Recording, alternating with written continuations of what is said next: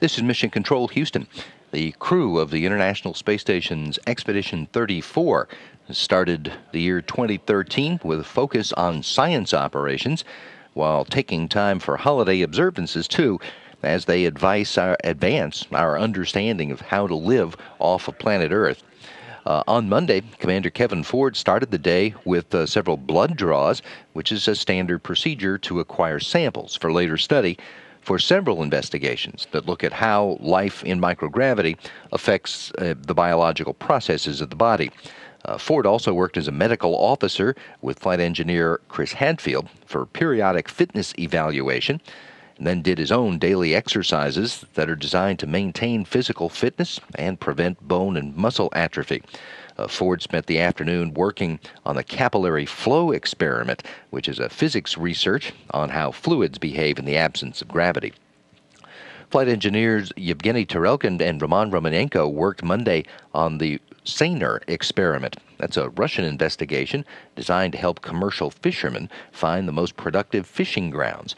They uh, were joined by Flight Director Oleg Novitsky, spending much of the rest of the day Monday in maintenance on the Russian segment systems.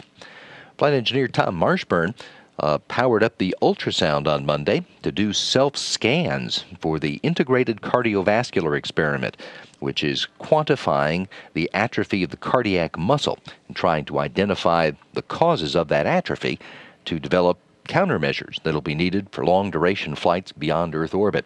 He then spent the afternoon doing maintenance on the waste hygiene compartment. All six crew members enjoyed a day off duty for New Year's Day. This morning, Commander Kevin Ford went to work in the Destiny Laboratory setting up the Robonaut for continued evaluations that are designed to uh, help develop new robotic capabilities for manipulating mechanisms. The hope is that that will lead to eventual assistance by the robot with the human crew members with their tasks and uh, future interaction with the uh, human crew members.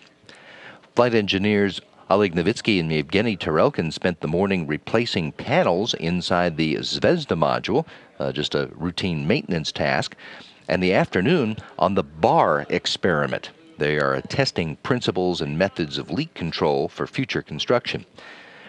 Flight engineer Roman Romanenko also did maintenance work today and had time set aside for crew orientation along with Chris Hadfield and Tom Marshburn.